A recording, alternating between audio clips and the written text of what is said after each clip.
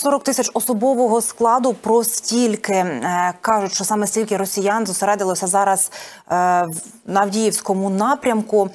Чи вони всі зосереджені навколо Авдіївки? Чи усі вони є на першій лінії е, вздовж фронту? Чи це загальна кількість тих, хто там є і в околицях, і готовий десь підмінити замінити?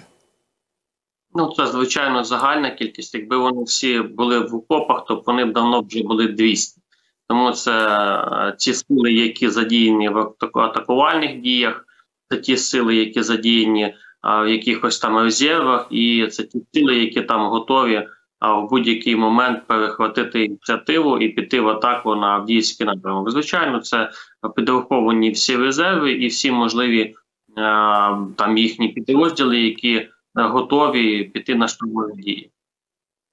Е, Хто це? Хто ці хто ці бійці? Це є е, якісь якісні регулярні війська, бо пишуть теж і про шторм З, і про новомобілізованих. І знаємо, що десь там з Удмуртії зараз формують кілька нових е, е, частин, і відповідно. Наскільки якісні ці вояки, наскільки серйозною загрозою вони є для нас? Ну, перше, е, це збівна солянка. Вона завжди тут збівною була солянкою. Тут не було якихось чітко виважених, е, не знаю, от тільки регулярні війська, чи тільки е, представники так званих сепаратистичних утворень, чи ще хтось. Завжди були тут декілька представників, представники декілька корот війн. Тому ця зборна солянка продовжується. Тут як як і регулярщики, як і штормзет, так і так і е, мобілізовані на тимчасово окупованих територіях.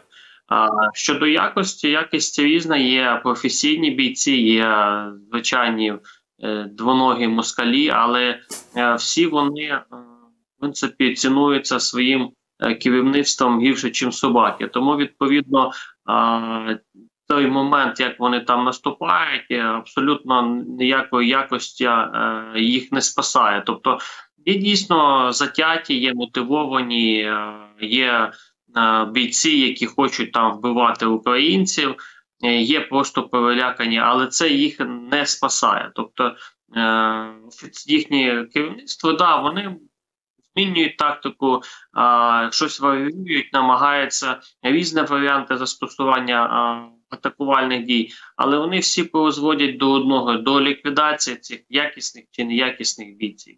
Угу. Бронетехніку наскільки активно е, підтягують туди, застосовують, чи мають її вдосталь саме на Авдіївському напрямку, і чи вдається вам десь там дрончиками чи чимось іншим працювати по тій техніці? Добре. Ну, перше, техніка застосовується завжди. Ми з вами добре розуміємо, що в них є достатньо серйозний запас цієї техніки. Вони е, її е, ремонтують, вони її виготовляють і відповідно розконсервовують і ще багато чого відповідно застосовують на нашій ділянці. Звичайно. Е, того масового застосування, яке було в жовтні, зараз е, немає, тому що перше ґрунти, по-друге, е, вони все таки, на нашу думку, формують уже бронетанковий кулак для якогось там фінального штурму Авдіївки і надзвичайно велике масове використання техніки все таки очікується. Зараз техніка звичайно е, застосовується, е, так би мовити, е, по потрошки називаємо це так, але в таких нормальних кількостях, якщо це була одна-два одиниці техніки, зараз уже по 3-4 е, застосовуються, і е, техніка саме і ліквідовується зараз у більшості дронами БПЛА або ж автою знову ж таки при коригуванні е, розвідувальних дронів. Тобто всі дрони, які на Авдіївському напрямку, ППЛА вони кожен виконує свою функцію. Є дрони камікадзе, є ударні дрони, є розвідувальні дрони, за допомогою знову ж таки, яких а, коригується авто і знищується як техніка, так і піхота. І знову ж таки, користуючись нагодою, підрозділи біля Авдіївки завжди збирають, е, оголошують збір на дрони, і так само знову ж таки мій один з моїх підрозділів так, так само збирає зараз на певний ударний дрон, який потрібен для того, щоб е, на, на дальшій відстані знищувати москальню. Ми власне зараз е, опублікуємо інформацію про цей збір, реквізити, як можна вас підтримати. Е, а вас тим часом е, так, так, ось ця інформація, цей номер рахунку, номер картки. Ви зараз бачите на екрані. Це збір для бійців, для побратимів Максима Морозова, для Легіону Свободи. Те, про що ми говорили, те, що зараз потрібне. А вас, пане Максиме, хочемо е, ще попросити. Е, загалом охарактеризувати, якою є зараз ситуація навколо Авдіївки, бо е, що відбувається в промці, що з заводом, очисні споруди, і там на півночі біля степового, що зараз діється. Ну, якщо конкретно по Коксохіму, е, ні, давайте перше подякую, бо е, минулого разу ваш телеканал допоміг закрити мені один збір, тому за це дякую. Е, і так само надіюся, цей збір допоможе закрити. Тепер йдемо по питанню. А візьмемо надзвичайно важливі для всіх місця. коксухім всі там дуже сильно його зараз переживають, але ситуація там, хоча важка, але стабільна. Єдиний успіх е, москалів в цій на цьому напрямку було декілька, мабуть, уже тижнів тому назад. Це добігли вони тоді до паркана, де їх е, вдало е, ліквідували. Після цього таких ось якихось успіхів, навіть натяків а, в цьому напрямку, поки що ворога нема, і дай Боже не буде. Все залежить звичайно від наших сил оборони. Тому Коксухін Коксухін повністю під контролем збройних сил України. Звичайно, його обстрілюють і завдають авіаударів, завдають ударів авіабомбами. Постійний він знаходиться під обстрілами ФСЗВ і АВТИ, але він під нашим контролем на всі 100%. А мало того, вже навіть е, не пам'ятається, коли москальня робила спробу добігти хоча б до паркана. Тепер е, щодо промзони, промзона лишається найкритичнішою точкою по, по всій карті, тому що за, всі ці роки, як війни, так і повномасштабного вторгнення, Е, зона піддавалася масовим артударам, масовим авіаударам. Відповідно, всі ті будівлі, які там були, помаленьку перетворюються на будівельне сміття.